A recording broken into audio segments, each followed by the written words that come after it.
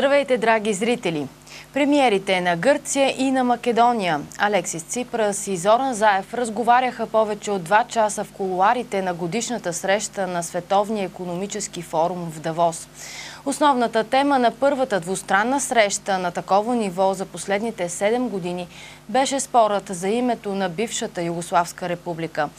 Ципрас и Заев изразиха добрата си воля на своите правителства за намиране на решение след продължилото 27 години противопоставяне, както и за ускоряване на преговорите. Гръцкият премиер се ангажира, че при добра воля от страна на Скопие гръцкият парламент ще подкрепи македонската кандидатура за членство в Европейския съюз и НАТО.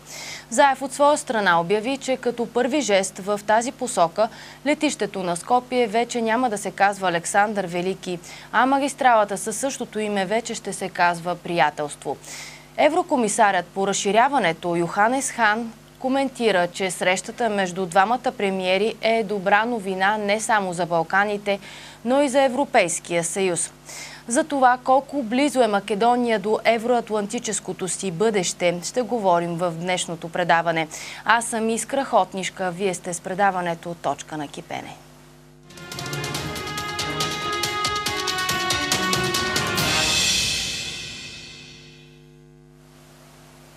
В студиото сега сме с Мирослав Резински от Българския културен клуб Скопие. Здравейте! Добър вечер до вас и до зрителите на България 24. Може ли да кажем, че Македония вече е на финалната права преди приемането в НАТО и в Европейския съюз?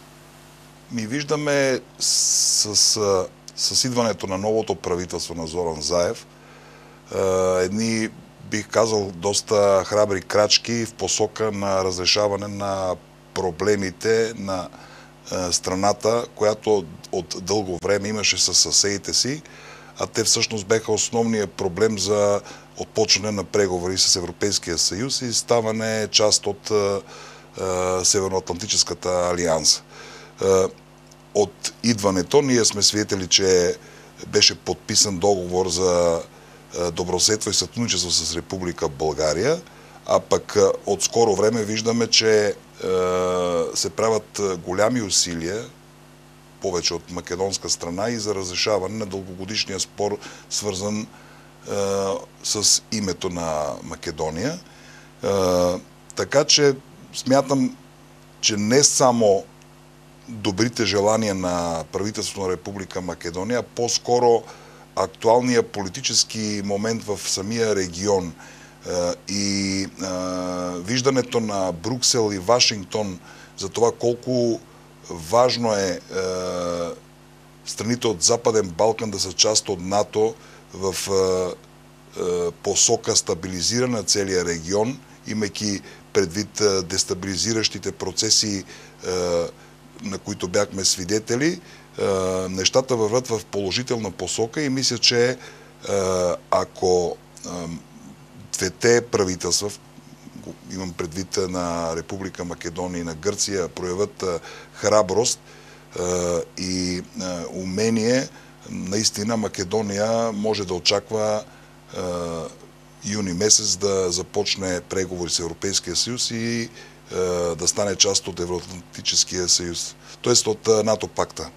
Има пет предложения, доколкото разбрах, за това какво да е името на Македония. Кое е най-удачното за Скопие?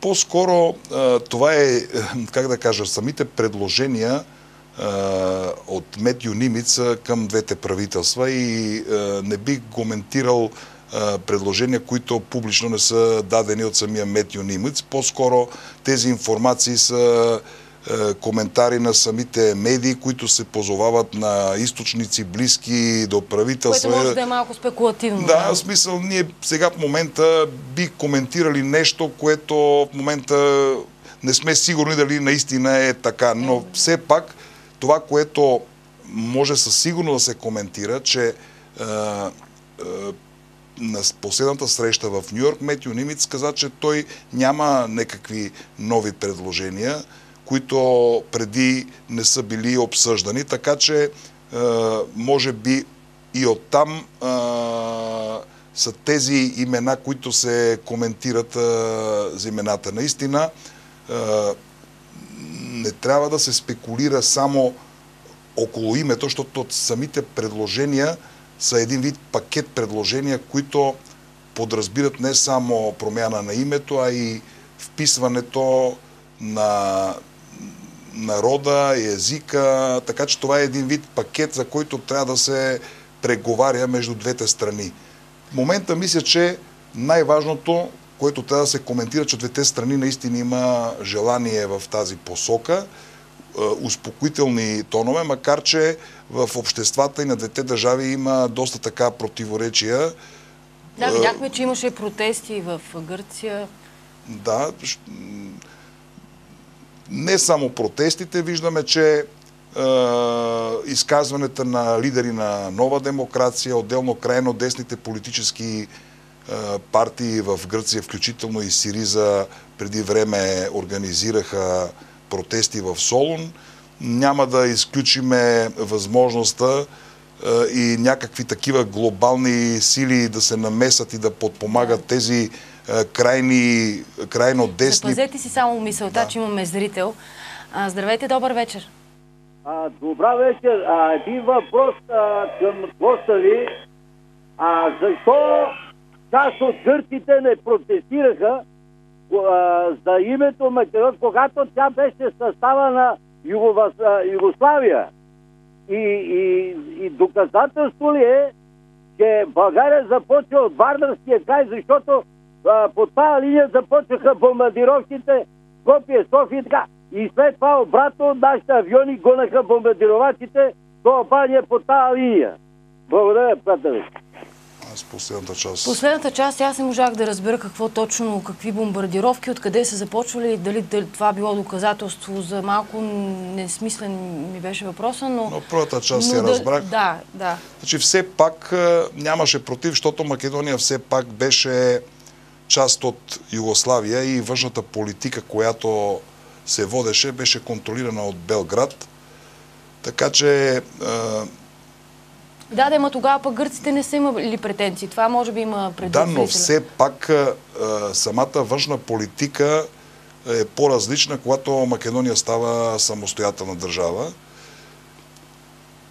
Има някакви стари исторически, как да кажа, съюзи, които не трябва да се изхвърлят. Все пак Атина и Белград в историята имат дългогодишно съюзничество и смятам, че може би това е била причината, че един вид Гърция е давала реверенс към Белград, да я държи под контрол и да я държи извън стратегически в лоши отношения, примерно с България и Албания, която регионално е било в полза и на Гърция. Но в момент, когато Македония става самостоятелна държава, вече е, Скопия самото води своята външна политика и за Гърция изобщо не е ясно в каква посока това ще движи. Може ли тогава да кажем, че всъщност са били използвани страховете на гърците, като им е било казано, че по този начин, като си запази името Македония, тя може да има териториални претенции, тъй като дори премиерът, македонския премиер Зоран Заев излезе с изявление, че Македония никога няма да има претенции към съседките си, значи, още повече към Гърция. Аз от дълго време коментирам тази тема и според мен, според моето мнение, самото наименование на държавата не означава претенции. По-скоро истината е в това, че македонизма като идеология монополизира целия регион Македония и по-скоро проблема е в самата идеология на македонизма, която твърди, че през може би един милениум съществува отделен македонски народ, и по този начин монополизира целия регион Македония, да, не, да, само, да. не само в Гърция, включително и в Македония. По този начин е, тази идеология негира факта, Та че на, в България. Значи, е, е, тази идеология негира факта, че на по-широкия регион Македония съществува съществувало през историята и гръцко население все пак. И тук е, според мен, основният проблем и на умение на официално Скопие да, как да кажа, аргументира своите позиции по отношението на оплакването от страна на Тина. От друга страна, според мен, официална Атина е смятала да пре... Зна... сигурно е знаела този факт, много добре знае исторически за какво население става дума в Македония и Вардарска Македония като мнозинско население. Историческия факт, че това исторически са били българи, по-скоро прехвърлят темата за конфликт около името, смятайки, че през промяната на името ще се промени още един път идентитета, т.е. на гражданите, които живеят в а, тази държава. Да, Примерно, да. ако... Прекъсваме пак, имаме да. друг а, зрител. Здравейте, добър вечер. А, добър вечер. Здравейте. Да. А, а, последния път, когато Македония беше заедно с България, той беше по времето на Хитлер. Защо не може да се мисли по този начин, че а, не политиците са се променили и са нещо станали много интелигентни, ами готви са а, Европейския е, съюз да стане наследник на Хитлер. Какво се кажете? Защото вижте какво се чува. Шефът на ВТБ банката в Русия казва пригатвайте се за война. Мен това помни на, на, на, намеква на мисълта, че, че Европейския съюз става наследник на Хитлер, ще им прави войни. Това исках да кажа. Добре, благодаря ви за това мнение, което малко пресилено ми се вижда на мене. Не Чакам. виждаме връзка с темата, с която... С темата и аз не виждам никаква връзка. А... Така че това е идеята, значи нова Македония, нови македонци, нов македонски язик. Защото ако се измести темата на историческата истина, ако македонските правителства признаха факта, че ето, ние исторически бехме българи, създаде се нова македонска нация.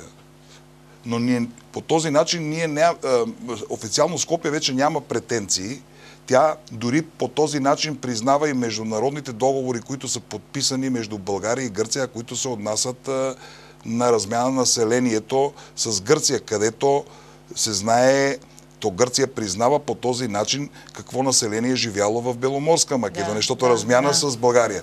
По този начин една държава, която се създава 90-та година, не може да има претенции върху неща, които са случили в историята по съвсем друг начин. Да, Разбирате, да. То, според мен е, изгуби се много време и според мен самата идеология с антиквизацията мисля, че не е някаква идеология, която идва вътре от самата държава. Може би е потиквана точно от тези среди, е, за да заостри е, отношенията и да засили позицията на тези сили, които желаят Македония да не е част от Европейския съюз и НАТО, основно, и отделно пък да я отдалечи от а, София.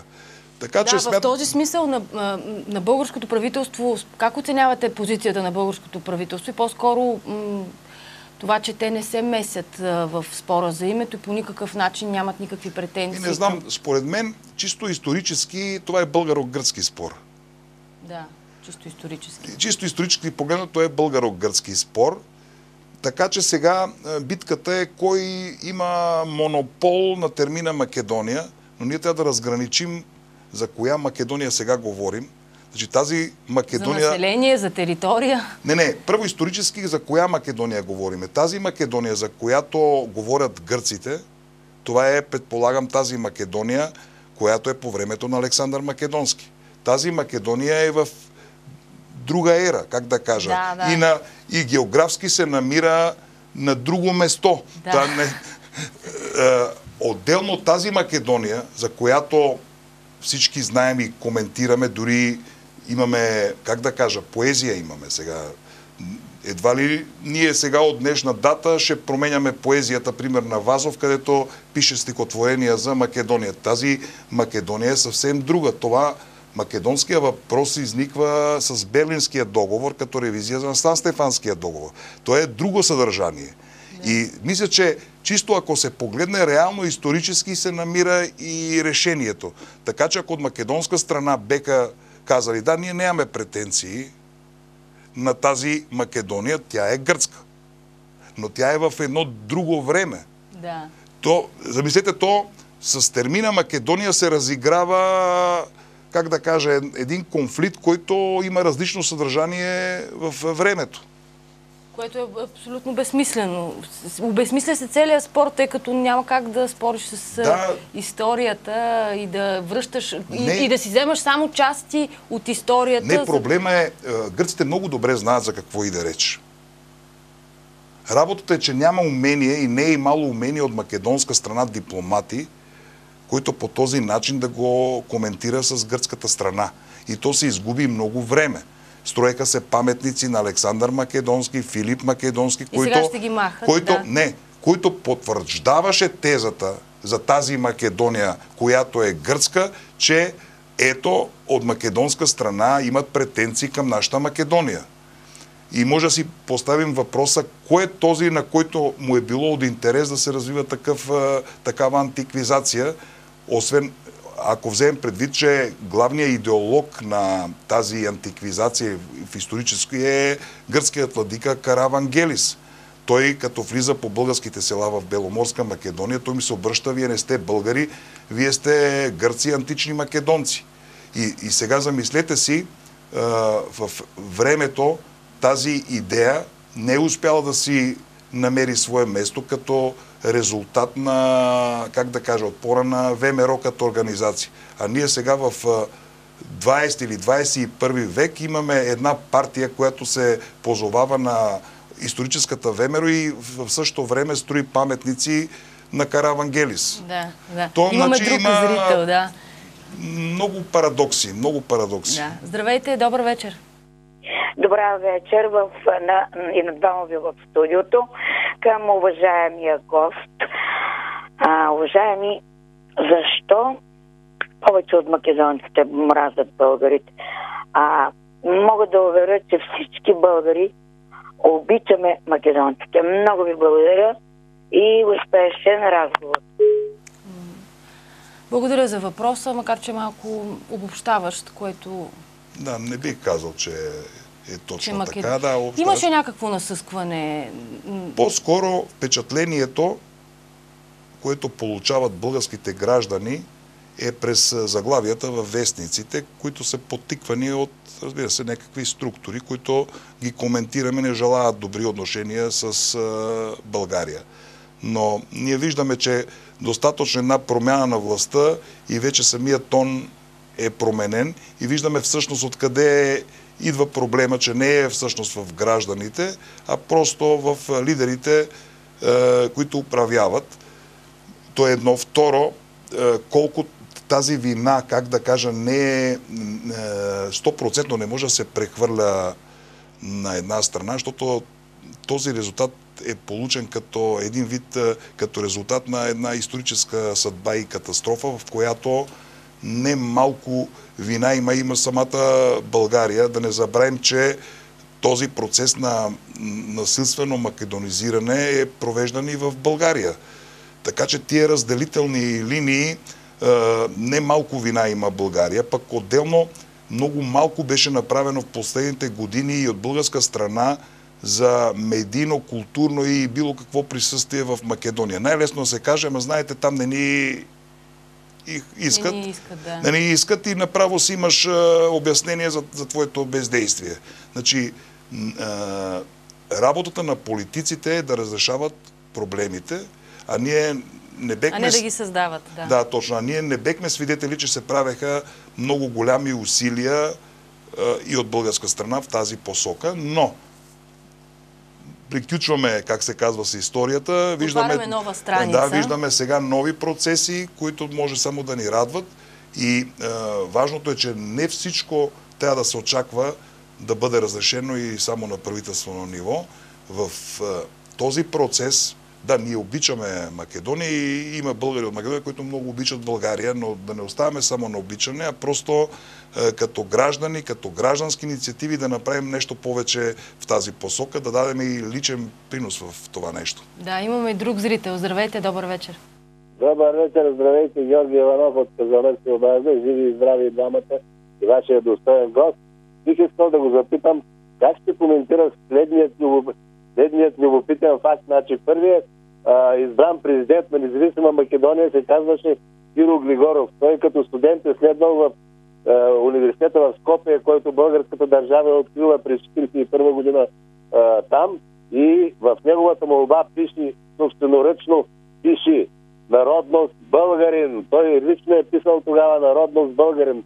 Разбира се, след 44-та той го отрича, но как вашия гост ще коментира този любопитен факт? Живи и здрави!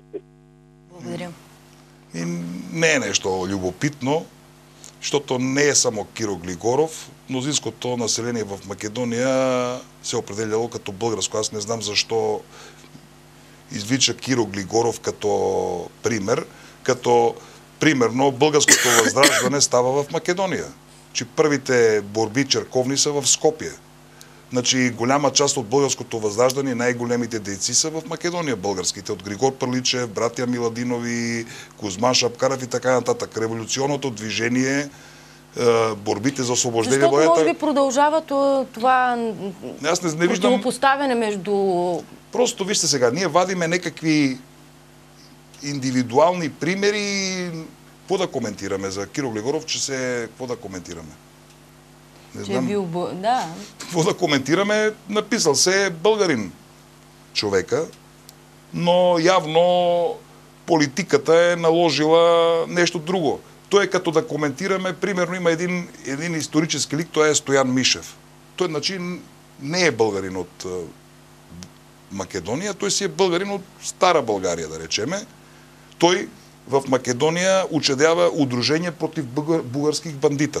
Той става мекере сръбско. Айде сега аз да питам, коментирайте ми Стоян Мишев, който става сръбско мекере. Или какво, айде коментирайте ми защо настана сърбофи, сърбофилския преврат 34-та година е, в България, който се оказа, че всички до един в процеса на Дража Михайлович, е, който се води в Сърбия, че всички са били на платена сметка на военното аташе на сръбската легация в е, София. Значи, да не вадиме... Компромати, да. Не, индивидуални... Истории, да, да индивидуални да истории, се които са се случили. Ние сега трябва да коментираме процеси. Как да кажа? И бъдещето, Да, което да, да. Значи, неспорно да е, че исторически населението в Македония се определяло през вековете като българско. Това не може никой да го оспори. и Нема нужда ние да вадиме някакви такива индивидуални примери. Не знам с какво, какво с това ние ще докажеме. Добре, имаме друг зрител. Здравейте, добър вечер. Ало? Здравейте. Ало? Да, чуваме ви. Е, изключвам телевизора. Ако може да си намалите телевизора. Добър вечер. А, да, благодаря. Добър вечер. Може да си намалите телевизора. Намалил са го до минимум. Ама аз още чувам телевизора. Може да го намалите и да кажете вече какво ви е мнението или въпроса. Добре, продължаваме. Нещо прекъсна връзката. А, генералният секретар на НАТО също беше в Скопие. Какви послания отправи той и как а, бяха, какъв е отзвука в Македония? Ми, Част от процеса. Ми, мисля, че по-скоро той, както прокоментирахме и в едно от предишните въпроси, че Бруксел и Вашингтон осъзнават значението за стабилизирането на целия регион. Нека да не забравим опитите за преврат в Черна гора, опитите за създаване на паравоенни формации в Босна, напрежението в отношенията между Сърбия и Косово, проблемите, които като върха се получи Кръвия четвърта в Македония. Всичко това е на границата на Европа. Значи, повече от ясно е, че целият този процес на стабилизиране на региона не е изолиран и трябва да бъде подпомогнат от Бруксел и Вашингтон, не само заради ползите на държавите, които разрешават е, междусемните проблеми, а и за самите тях. Така че съвсем нормално това посещение е в посока на подкрепа на този процес и колкото е възможно да се подпомогне за истинско разрешаване. Значи, за пореден път НАТО Алиансата показа, че желая колкото е възможно по-бързо Македония да е част от семейството. То е повече от очевадно. Така че а, мисля, че самото посещение е доста а, положително и е в посока да охрабри правителството на Македония. Отделно това е един вид подкрепа на политиките на правителството и обезкуражаване на некакви субекти в държавата, които са против тази политика. Все пак това е едно послание към гражданите и другите политически субекти, тъй, че а, актуалното правителство и политиките, които тя води, са правилни и трябва да се подкрепят. Да, сега имаме друг зрител. Здравейте. Здравейте. Нещо. Не се чува. Продължаваме нататък. В самото македонско общество, как стои въпросът? Какви са настроенията там? И, Дали са проевропейски? Има ли евроскептицизъм? Вижте сега, е, чисто като послания, а, м, почти няма политическа партия, която декларативно не се заявява за това, че Македония спешно трябва да бъде част от Европейския съюз НАТО. Друго е, друг е въпросът дали с е, политиките, политиките, които водат, наистина е, допринасят е, за това Македония да е част от Европейския съюз и НАТО. Ние бехме свидетели, че непрекъснато през 10-годишното владеене на Никола Груевски, те устите на всички политици беха пълни с това, че искат да са част от Европейския съюз и НАТО, а всъщност техните политики допринесоха Македония да е много далеч от тези структури. Така че днес имаше едно официално съобщение от ВМРО ДПМН, главната опозиционна партия, които поздравиха срещата Ципрас, между Ципрас и Зоран Заев с обяснение, че само през диалог може да се разреши проблема, но с една, така би казал, лека критика, че те самите не са запознати за същността при, в, на разговорите, в смисъл има ли някаква стратегия или дали нещо има, или се, дали се е разговаряло за някакви конкретни предложения и дали на, преименуването на летището и магистралата е част от тази стратегия и според тях е, имената на магистралата и летището не са били проблеми, не показват е, претенции към Гръция, което доказва накрая, че ВМРО ДПМН не, не вижда, че те точно с тази политика на антиквитация беха главния проблем. Да, да. Така че наистина ние не можем от сега да предвидим в каква посока ще се движи евентуалното недоволство в македонското общество. Е, Сигурен съм, че ще има такива сили, които да спрат е, този процес, както на които бехме свидетели дори при подписването на договора с България, но смятам, че все пак е, целият този процес ще се менаджира доста усилено и по такъв начин тези сили да се амортизират колкото Да. е възможно повече. Имаме друг зрител. Здравейте, добър вечер.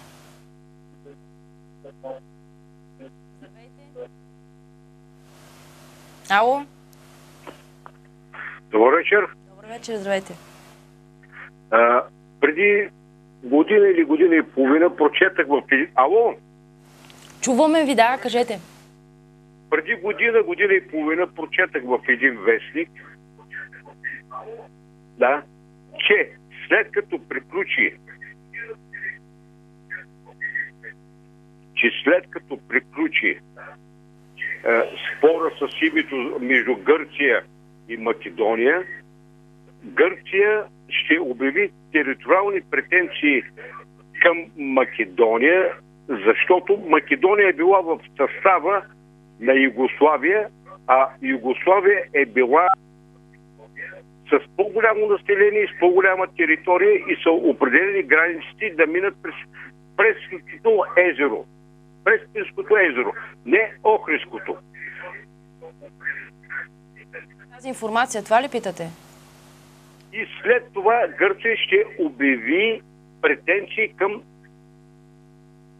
Македония за териториални претенции към Македония. Добре, разбрахме ви въпроса. Такава информация, на такава информация Не попада ги виждам за сериозни за коментар. Да, това са някакви просто хипотези. Ми не знам дали всъщност и такова нещо е писало. В един вестник пишеше, че Една жена ми каза. да. значи, Макар, аз че медиите все пак, нали са за това да им вярваме.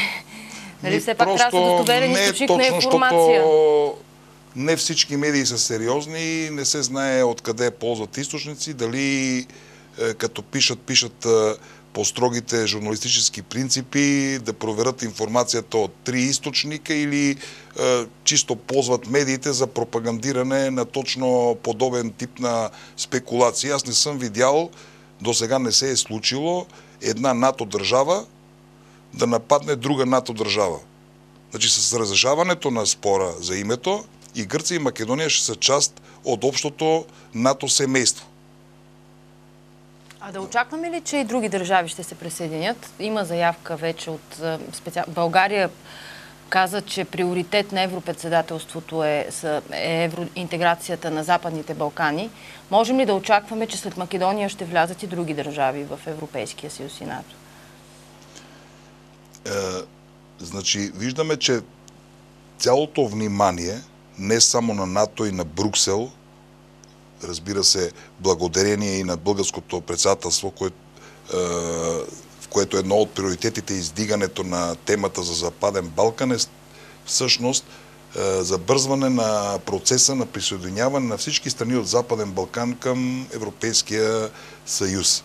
И мисля, че това е положително. Да, смятам, че все пак а, ще бъдат преодолени тези стари практики във всички страни от, от Западен Балкан и по-рано или по-късно наистина ще станат а, част от а, евроатлантическото семейство. Не знам кой след кого, защото Македония трябва да извърви наистина много дълъг път все пак, защото ако разреши проблема с Гърция, ние може да очакваме в юни месец да започне преговори. И до сега известен е факта, че е, до сега се ползваше индивидуалния подход, как да кажа, при приобщаването към Европейския съюз, зависимо от напредъка на всяка страна отделно. Но това, което е най-важно за целия регион, че с, с разрешаването на проблема между Македония и Гърция, всъщност по-голямата част от проблемите в Западен Балкан или най-горлевите се разрешават и остава една малка част за разрешаване. А, да не забравим, че Черна гора а, вече е част от а, НАТО пакта и, и вече е започнала преговори с Европейския съюз. Тя всъщност и не е някакъв, не представява никакъв проблем в този процес. Остават само Косово, Сърбия и Босна и Херцеговина. Да. Имаме друг зрител. Здравейте, добър вечер. Добър вечер. Да, слушаме. Се обаждам. Чувате ли ми? Да, чуваме. А, добър вечер. На предаването ви. Аз съм ваш редовен слушател. Никола Балоило съм. Искам да кажа на господина и на вас, аз ви уважавам безпределно. Българи патриот.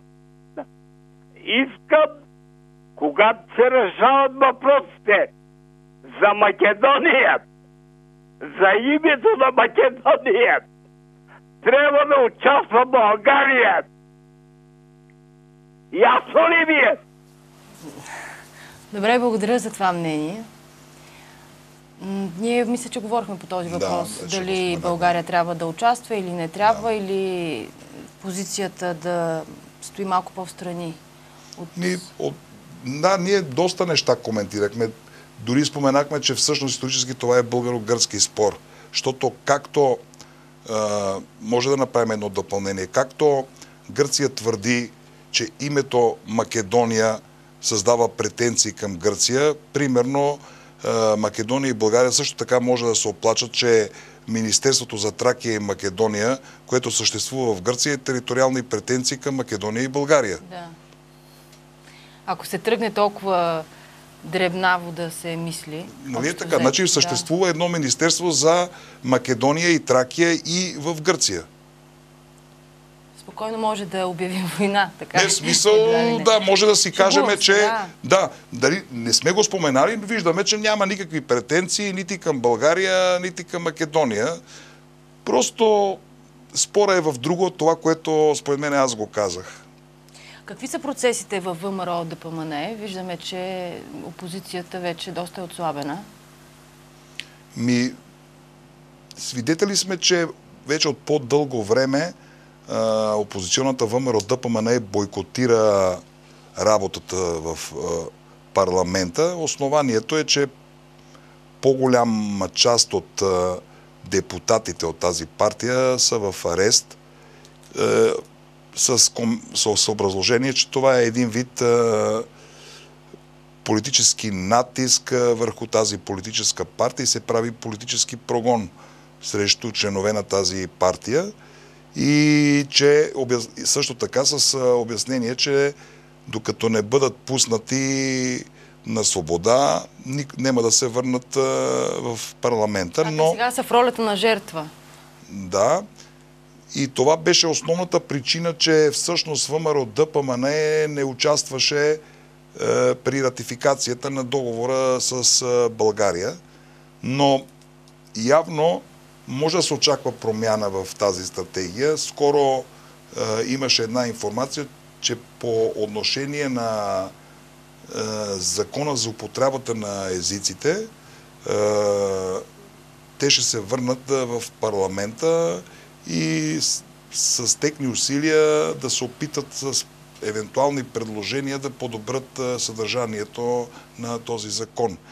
Но генерално все още е рано да се коментира в каква посока ще се придвижи тази политическа партия, имайки предвид, че новия лидер едва ли е устоличен от бившия лидер Никола Груевски.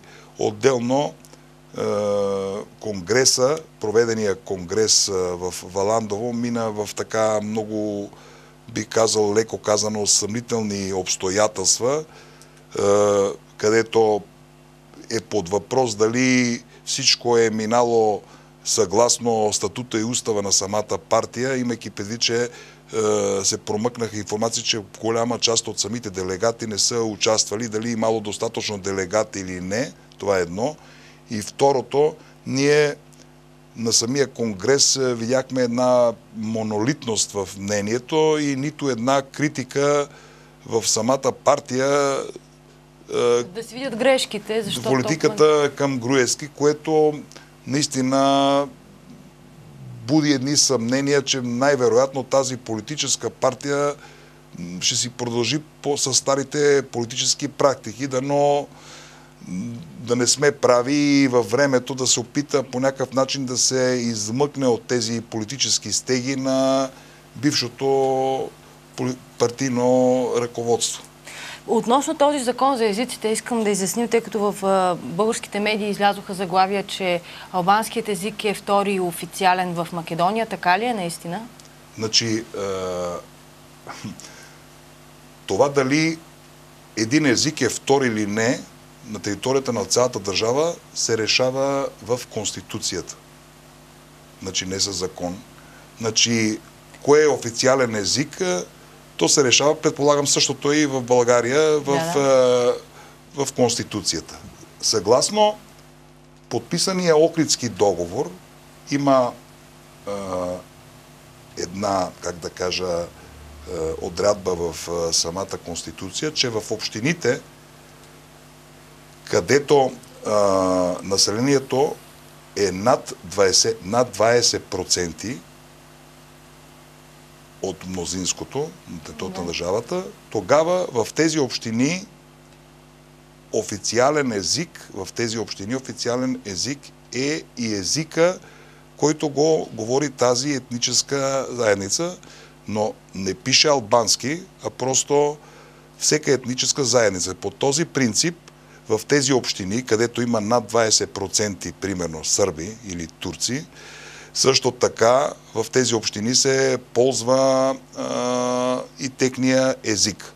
Отделно също и така в Конституцията пише, че в а, а, органите на държавната власт също така с закон се определя как ще се ползва езика на етническите заедници и под какви условия. Значи, самият факт, че за международна употреба е единствено и само македонски език, това говори кое е официален език. То ако беше двоезична държавата, тогава, примерно, да. тогава щеше за международна употреба да е и албански език. Но ние виждаме, че само македонски език е за международна употреба. Дори и в самите банкноти, дори с новия закон, само на македонски са банкнотите, само че има една така тенденция в самите банкноти да се ползват културни мотиви и на етническите заедници. Така че и по какъв начин може да се ползва езика в институциите. Значи не адхок, но в какви условия? Значи ако примерно в дадена институция дойде албанец, те да му се осигури преводач, за да може да, примерно да може да си комуникира с институциите да, на да. неговия език. Имаме друг да. зрител. Здравейте, добър вечер. Здравейте. Слушаме ви. Водещия е изключително компетентен и еродиран, но ми се струва, че пропуска една основна тема в казуса Македония. Ролята на царска и съветска Русия в този казус, ако обичате. Ролята на царска Русия. Царска и съветска Русия. Добре. Мисля, че споменахме, само че не споменахме с... А, не споменахме не, сега, коминтерна. Значи, мога нали? да отговоря само Говорихме... по един начин. В момента, в момента върват процеси, е, в които не съществува нито царска, нито съветска Русия. В какъв смисъл? Че се приравнява... Не, то днеска има друга Русия. Да, да, да. Но ролята за създаването за... на Македония и за македонизма, това може това би... ли беше... Това може би беше смисъла на въпроса. Не може Каква да го разбера е ролята... в този... Ама ние на... за кое говорим? Ние не говорим... Каква е ролята в Македония на царска Русия и на съветска Русия? Такъв беше въпрос. Ми, по-скоро би казал, че в континуитета по отношение на македонския въпрос Русия държи на сръбските позиции. И не подкрепа българската позиция по отношение на Македон, така най-късо казано. Имаме и друг зрител сега. Здравейте, добър вечер. Ало? Да, да, чуваме ви. А, мога ли да говоря вече? Да, заповядайте. А, сега, по времето на Иван Костов излизаше един вестник Македония. В този вестник а, имаше една статия, а, която потвърждава, че а, нали, по времето, когато Македония остава под Турско, а, всички документи, които а, населението в Македония е, е плащало, там данъци и тем подобни, е било на български язик. Така че няма що а, Гърция да спори какво е било това население.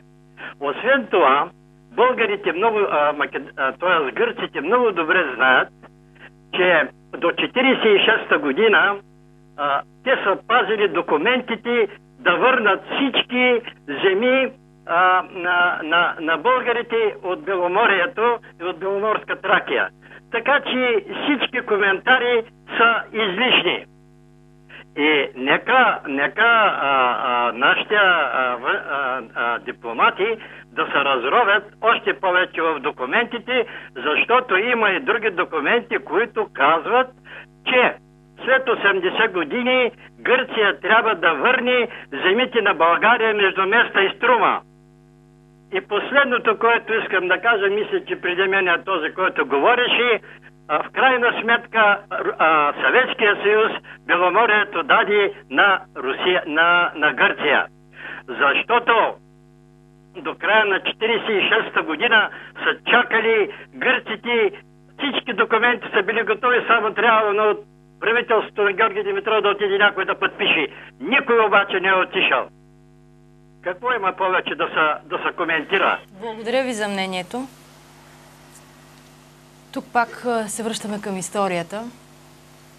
И, и, и, и пак като че ли се усещам, че у доста зрители има така едно противопоставяне срещу Гърция и че едва ли не българското правителство бездейства относно този спор. Не мисля, че работа на политиците е, как да кажа, да ползват инструментария на историята, но да тръгват в посока да разрешават актуалните проблеми. Значи, да, знаеме, ние няма Всек... как да променим нещата така да, или значи, иначе. Смисъл... Беломорска Тракия не е в България ние, в да, момента. Ние разбираме на Балканите, че всеки един сънува на, за някакви голями исторически истини. За съжаление, ние... Нито Петър... Македония може пак да е в Значи, ние петърпекме като България, петърпе национална катастрофа. Ние сега трябва да видим от момента какво как, да направим. Какво можем ние максимално да направим. Така И... че е, Съветския съюз не е дала Македония на Гърция, защото през комунизма тя се опитваше през партизанското движение да, прово, да провокира и да из, движение в Беломорска Македония, за да може да разшири влиянието до Солун. Точно за това големите сили в лицето на Великобритания най-вече подкрепиха е, монархофашистите в Гърция и това е причината да бъдат изселени българите от Беломорска Македония. Ние имаме много голям процент на граждани на Република България, които са емигрирали в България точно по това време и те емигрират не само в България, и в Македония, и в Унгария, и в Полша. Така че тия процеси нищо в момента. Те може само да си ги, как да кажа, си ги прокоментираме като исторически факт, но в момента имаме друг казус. Ние имаме сега Република Македония и Република Гърция имат спор. Без да го разрешат, Македония няма да е част от е, евроатлантическото семейство. То не е само от интерес на Македония да влезе, то е в интереси на България, защото България нали, иска на границата и да има държава, която е част от нейното семейство, за да може да развива економика, да могат хората свободно да движат. Не само най-накрая да приключи тази омраза помежду ни все пак. Да, защото все пак народ. 21 век. Ние всъщност с падането на границите, ние разрешаваме проблема. Сега как българите свободно си движат и в Кавала, и в Солун, без никакъв проблем. Ако бекме в 19 век, ние ще говорехме с този език, за който сега ние коментираме в историята. А то е, нали се сещате, войни. Да, Не... войни, абсолютно, да. А е в то, значи да говорим за новата страница, сега да говорим и за българо-македонските отношения, затоплянето им, какви са перспективите? Виждаме, че пада роуминга, инфраструктурни проекти. Ми, мисля, че договора дава една наистина добра основа за задлъбочаване на отношенията между България и Македония, които от дълго време беха, как да кажа, блокирани обтегнати и обтегнати. Доста, да. И наистина трябва да се направи да се направят много голями усилия в посока на, как да кажа, да по-бързо премахнем тия отрицателни ефекти от а, миналото и наистина виждаме, че самият договор не е било само един, как да кажа, лист хартия. Виждаме, че има и от двете страни усилия в посока наистина на реализиране на тези неща, които са част от този договор. Разбира се, в интерес на гражданите и на двете страни. Да се надяваме, че този процес наистина ще как да, да кажа? Само ще... да кажа финални да. думи, защото много напредваме във времето. Финални думи да кажете за взаимоотношенията между България и Македония? Ми, мисля, че най-накрая все пак е, победи истината. Този договор беше съвсем... Знаете, не е нужен договор между България и Македония в така погледнато исторически. Много, много странно и би казала жалко, че се дойде Македония и България да подписват договор. Най-вече срамно за самата Македония, защото тя, как да кажа, като резултат на е, историческите несправедливости е извън границите на България.